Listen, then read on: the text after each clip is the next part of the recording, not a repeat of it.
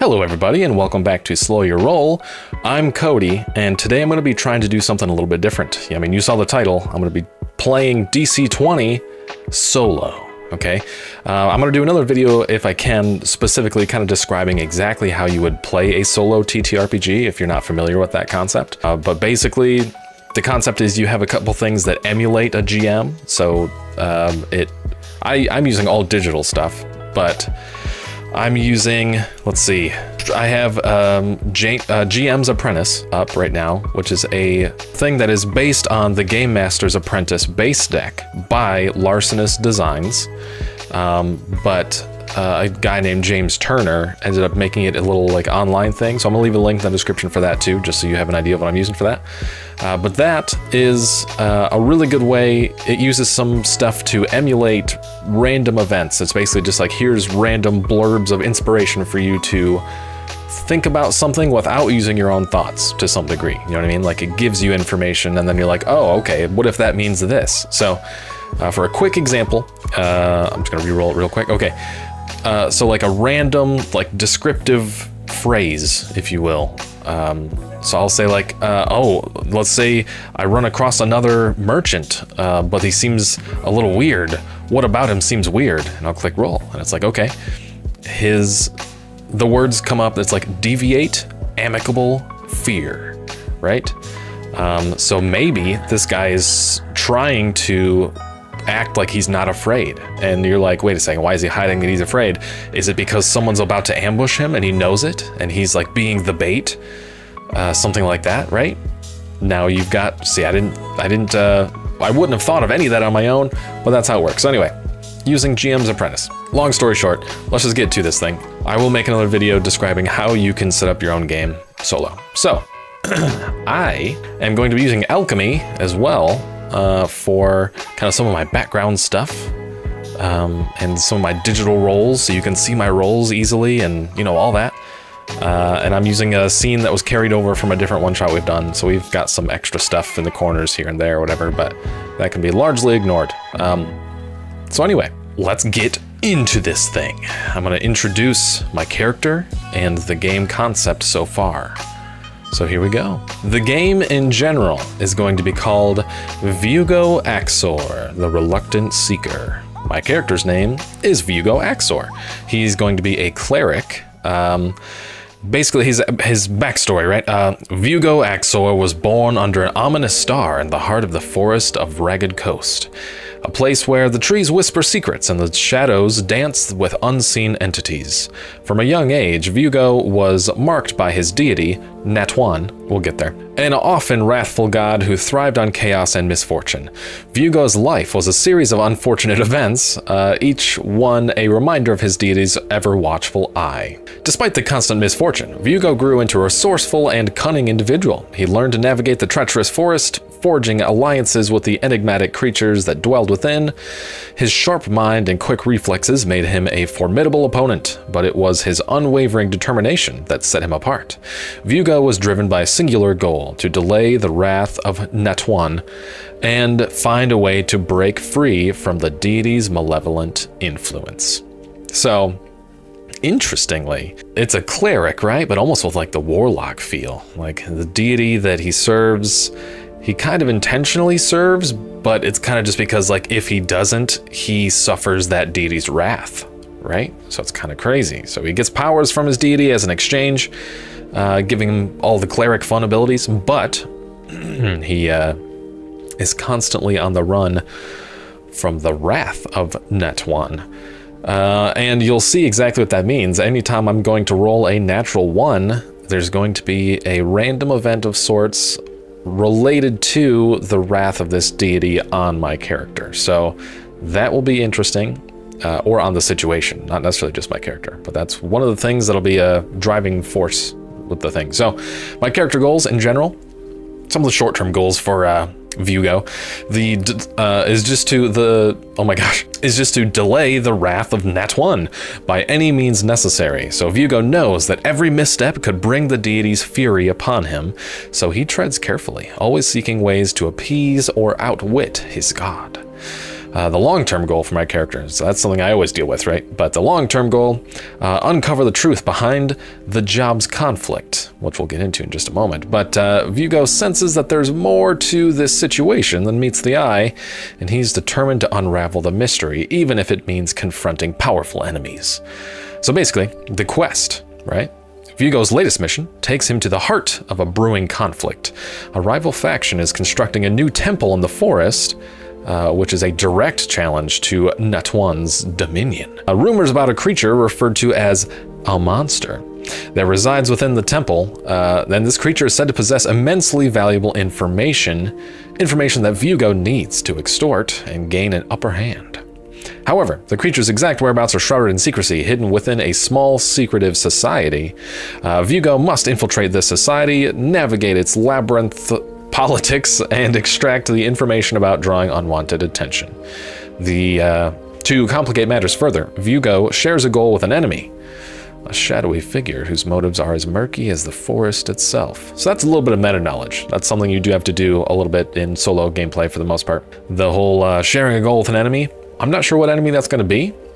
It'll just happen when it happens, and we'll, you know, the dice rolls will help figure it out. So, uh, as Veugo delves deeper into the mystery, he must balance his immediate need to delay Natuan's wrath with his long-term goal of uncovering the truth. Every decision he makes could tip the scales, bringing him closer to freedom, or unplugging him deeper, or plunging him deeper into chaos. So here we go. The game starts with Veugo stealing a map from a small mercenary camp where he overheard them tasked with the same job. Mm-hmm. So here we go. We're going to start basically right there. So let's say, um, so let's say uh, I'm I'm found the camp. I kind of was just hiding out in the woods, overheard them talking about this job, and I was like, that sounds very interesting. I'd like to know more about this situation. Something about it seems really fishy anyway. Uh, and uh, I managed to sneak towards the back of one of their tents and I find a map with uh, the marked out details. I grab up this map and I'm like, this is it. This is what I need. I can move forward with this. Uh, but it happens to be right then I hear a voice behind me. It's like, hey, you're not supposed to be in here. So I turn around. And then uh, one of the mercenaries, they're right there, eyeballing me. So let's see here. Um, does this mercenary um, immediately alert the others? So to determine if this one mercenary that finds me in the tent is going to immediately like run away and alert everyone, uh, I'm going to roll a d20 and I'm to set the target myself. So I'm, maybe this is a 50-50. Maybe he thinks he's better off if he just handles this quietly for a second, you know what I mean? Before freaking out, like he doesn't know my capabilities. Maybe I can just, you know, whatever, who knows? So um, basically I'm just to set it at a mm, uh, 10, right? We'll just say 10. And uh, I'm to roll a d20 and see what happens. I rolled a 12. So not only does he, uh, you know, the chance of 50-50, rolling the 12 basically means that he is going to quickly turn around, uh, maybe just like stick his head out the tent and uh, attempt to alert the rest of them. Uh, and I feel like he's going to do it. He's going to open the tent, turn around, uh, yell out there, and just be like, hey, there's someone in here! And then my character, my gosh, what do I do with that? I might, oh man, how many were there? Were there, let's see how many mercenaries there were. I'm going to roll a d6 to determine how many mercenaries. Five. Okay, so there's five mercenaries altogether. Okay, so um, I'm a bit outmatched. So I'm to try to literally just like grab a, a, just like a simple like a dagger whatever i have there whatever and just rip through the back of the tent and try to just run out the back real quick. I'm just gonna roll an attack roll to see if i'm able to do that. Using dc 20 i'm gonna add a four. Oh, sweet. Okay so that's really high. So 19 plus four is like a 25 or whatever. So i'm gonna say that i am able to cut through the back of the tent very easily and start making me way making my way out of the tent. Uh, just trying to run back into the woods to lose these guys before they catch up to me. On the way through are the rest seeing me uh, leave. I'm gonna roll a stealth check um, to see how will I do. Okay, 14 plus uh, zero for stealth, so just 14. Um, and I'm gonna give them kind of like a perception check or awareness check for DC 20. Oh, sweet. Okay, so they kind of, they don't do that well. I, I managed to sneak behind the tent, so I'm just gonna start bolting into the woods. As I start running, um, at any point do I do I become visible. I know at this point I'm kind of ahead of them, and that's good. But at any point, do I become visible? I feel like it'd be likely, so I'm going to set the target at, um, you know, if I roll lower than like a 12. Okay, so yeah, yeah, so I don't remain hidden the whole time. Um, but I do have a leg up. I'm running through the trees. Let's see, is this just kind of like a give chase situation now? They're chasing me. I'm going to see what the GM's apprentice gives me for what they're going to be doing while trying to chase me here. All right, here we go. They're going to use up their resources. Oh gosh, that's not good. Okay, they're going to use up their resources to try to get me, uh, specifically through an intimidating or frightening manner. Okay. Okay, okay, okay. So what if they were like sitting around a fire? When they were, you know, they're hanging out. That's where people hang out, sit around a fire, cooking food, maybe something like that. I don't know. So basically, I'm gonna say these are mercenaries. They're on the road. They've got some sort of alcohol, right? Um, I'm gonna say that they uh, make a couple quick makeshift explosives, or even just like you know, like Molotov cocktails, you know, that kind of thing, uh, and just start hucking them in the woods around me to try to like flesh me out, kind of thing. Uh, and you know, if that works, it's going to slow me down. It's, I'm going to be intimidated and frightened and have to like take my time and you know all that stuff. So I'm going to have them roll basically just an attack roll real quick, and I'm going to add. They're using their resources, so it's pretty scary. Uh, I'm going to use oh gosh, 19 some. That's really high. I'm going to say that they definitely managed to do that. Um, I'm going to try to roll a um, save against being frightened, more or less, against that number, and we'll just keep it straight roll. Okay, Dang. So, all right. So I'm like running through the middle of the woods, right? And uh, these guys are still kind of in their camp running away. Got uh, a couple uh, explosives they made. They're hucking them into the woods. Uh, and I just noticed that there's just like bottles blowing up and just like fire all over in the woods around me. These guys are about to start a full-on forest fire, and I'm like running through these, you know, woods. There's a couple spots in my path that's kind of blocked off, and I'm just like there, and I'm just like, crap, what do I do now? Um, and so what do I do now? Dang, what do I do? Do I try to surrender and just play nice? I really don't see another option, to be honest. I can't think of anything else to do. So, okay, I'm going to basically just calm down and be like, all right, all right, I can't really go anywhere. There's fire spreading all around me. It's going to get worse. Uh, I'll actually shout out while in the woods, just be like, all right, all right, take it easy. I- am coming out. And I'll uh, step back out of the woods toward the rest of the group. Um, man, all right in doing that, I'm kind of like surrendering, right? Stepping out. I feel like they're going to accept the surrender for the most part. Um, and basically, I'm, you know, I'm just going to come out there. I'm going to try to talk to them a little bit. I feel like they might do the talking first, though. So what's, uh, how are they going to approach this? Let's see, according to uh, GM's Apprentice. Okay, so I got the descriptive phrase, avenge psychological leader. So basically, maybe it's just like the leader's pride's hurt, and everyone that's in the group there is just like, we gotta, we gotta make him you know, we gotta, how dare this person insult our leader by stealing our stuff, you know? So basically, I'm gonna step out and they're gonna be like, why'd you do this? Don't you know that the mighty Duralak the Stout is our leader and there is no way that we're gonna let you get away with stealing from us? Um, what does Duralak the Stout have to say about this? Dur Duralak, Duralak the Stout, what does he have to say about this? Oh, yikes. The GM damage, or the GM move, is specifically deal damage, which is like very direct and more direct than it normally is. So, um, I'm gonna say that this guy, it says he's neutral about it though, technically. So he's gonna come up to me, not necessarily trying to kill me, I wouldn't say, but he's gonna, you know, maybe at this point they've kind of like, the they've surrounded me and kind of got me like held up a little bit. And maybe the uh, leader comes up and he's just like, I can talk for myself old Durlak the Stout, you know, he's very strong-willed man. So he's going to come up to me um, and just like look me dead in the eyes and then just slap me hard across the face, you know, just one big slap. And I'm just like, uh, uh, and now what is, he's like, what, what exactly do you think you are doing taking our stuff? He's like, what do you even intend to do with that map? Do you know what it's for? And I'm gonna be like, ah, well, I, I overheard what you were saying. Um, I, I was just simply interested. I figured I might try to beat you to the punch, but clearly I have failed uh, even this early on. So how does he accept that? Does he seem uh, willing to, um, you know, continue this conversation? How's this going to go? Uh, with a roll of odds, yes, he's willing to go through with this conversation. So basically, uh, I'll just be like, you know, what, what exactly am I trying to do here? I, am going to let him know. I'm going to let him know. It's like, listen, um, uh, there's a lot of stuff going on this whole contract just seems weird to me. I can't believe you didn't notice that. Like, have you thought about the fact that whole secret society building the temple, like, who's who did you accept this job from anyway? That's a good question. Who did they accept this job from? Okay, I rolled some stuff. Uh, he's gonna say, "We accepted this job from the Minister of Justice in Swift Dawn, a near uh, a nearby town." And I'd be like, "Okay, well, why? Did you ask any questions?" And he's like, "No, we don't ask questions. Come on, you know, he's not gonna ask questions." They're just like, "We were told we'd get paid if we did it," and the fact is, this whole mission, like, I'm wondering if this mission, the fact is, this whole mission is way too shady, you know? And I feel like the leader is going to kind of know this too and be like, something about it's just weird. Uh, we don't have nearly enough information. They wouldn't give us any information other than where to go uh, and like the the monster that has intelligence that we need to get, right? And they didn't even give a description on the monster or anything. So basically, the Minister of Justice was just like, just go do it. If you succeed, I'll get, I'll pay you.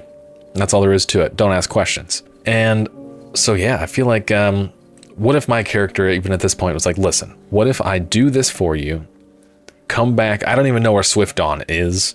So, what if I do this for you, come back to your camp, and then we can just like split the profits? Because I'm confident. I'm extremely confident. There's a group of five of them, but they're just mercs, you know, they're nothing special.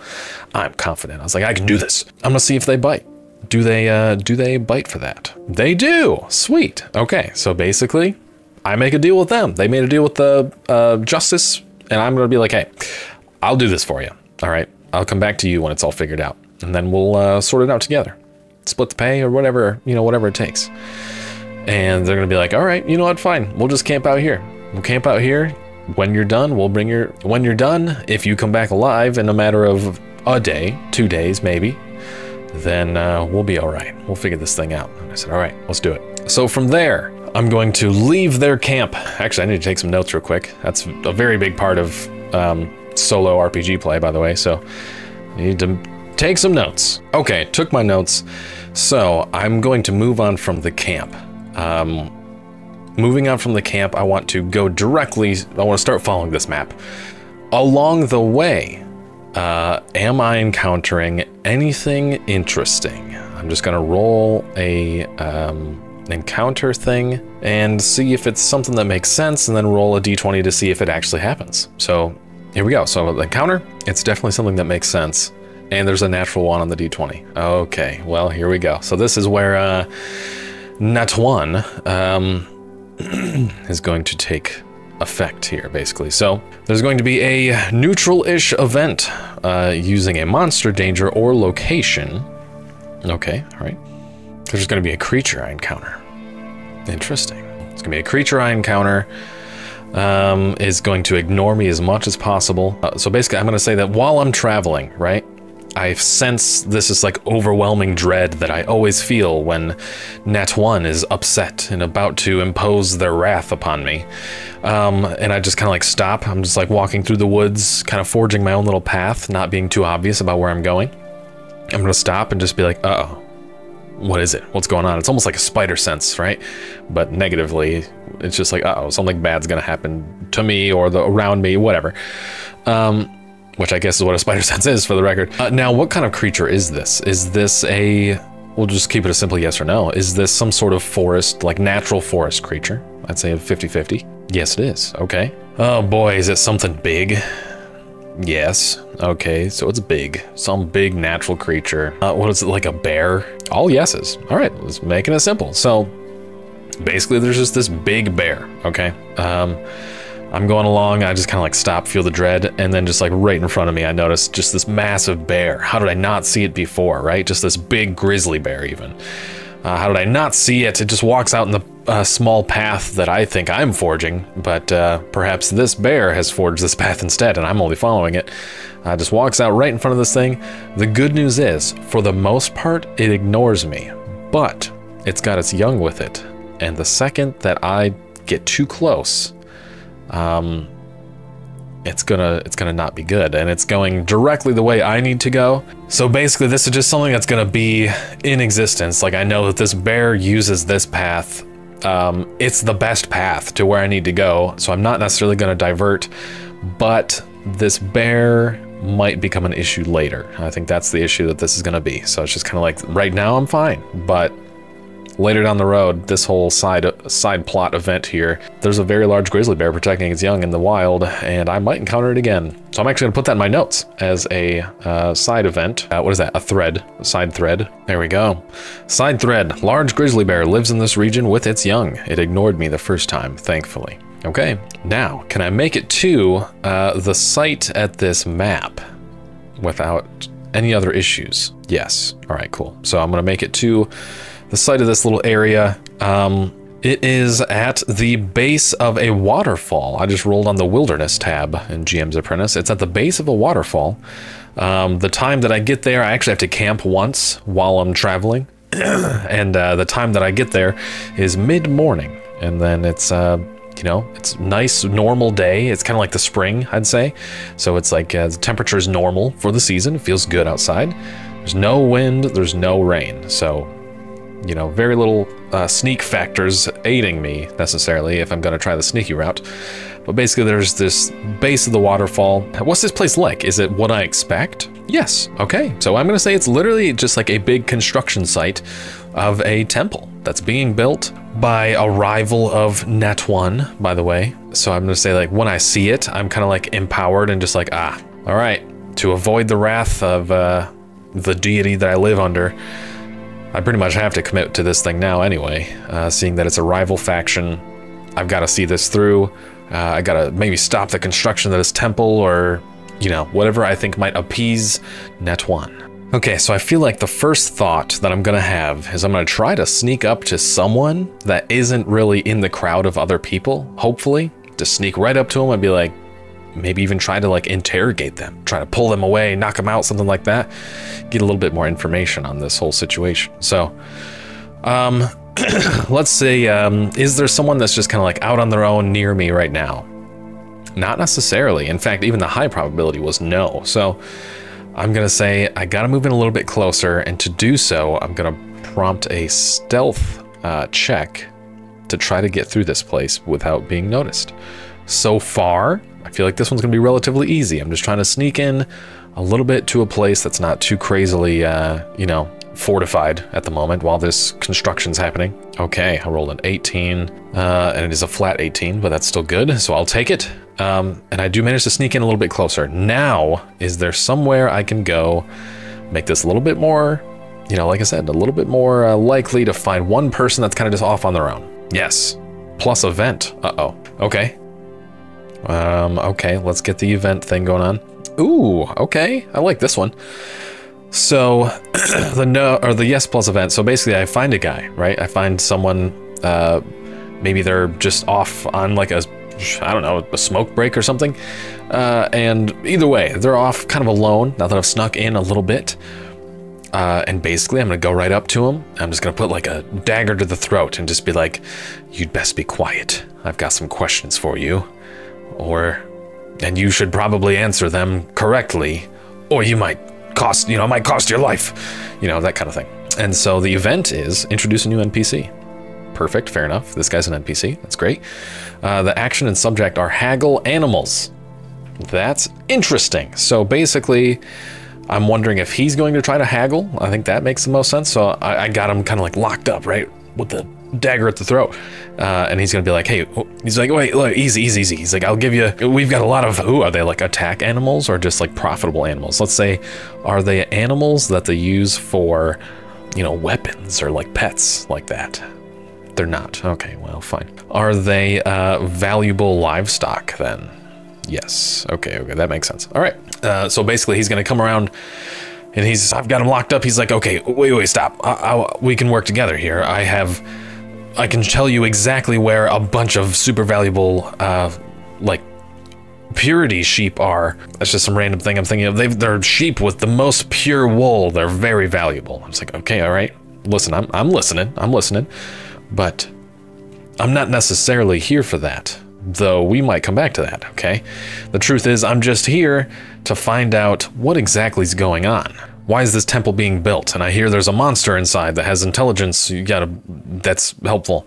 First off, does this guy know about all that? I think it's likely. We'll give it a, you know, high percentage. He doesn't. So he doesn't, I'm gonna say he specifically doesn't know about this animal because that seems like the thing I really wanna know. Um, but he would probably know that the temple is to a specific deity or whatever. And as soon as I hear the name, I'm gonna be like, "How dare you?" Like, you know, like, "Are you associated with that deity?" And he's gonna be like, "Uh," he's like, "Uh, yes, but I'm not willing to lose my life over it." And I was like, "Well." How about this? You denounce that deity now, and things might be okay. Uh, but in the meantime, what? Why are you even doing this? Why are you? Uh, I hear that there's a creature inside. You know, like why why the temple here in the middle of the woods and not in the town somewhere or something? Bargain religious grudge? Interesting. What does that mean? Um, whoa. Okay, maybe he's gonna be like, all right. I've heard some people over, you know, uh, like I've overheard some people talking, and they say that this temple is meant to bargain a grudge of our deity, uh, one way or another, almost like a sacrifice, but differently. That's really interesting. And we're like, all right, this has to do something with the monster one way or another. And I gotta take some notes to remember that stuff. Okay, so there's a monster inside.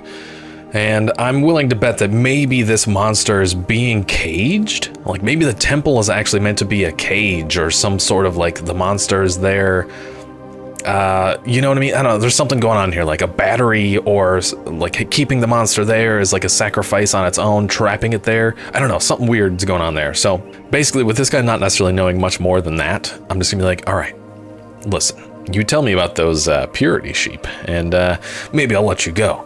Uh, and you just run off this site and don't come back. You understand? Or, or it's your life. First off, uh, he already offered up the sheep, so I feel like he's gonna, you know, generally agree to this.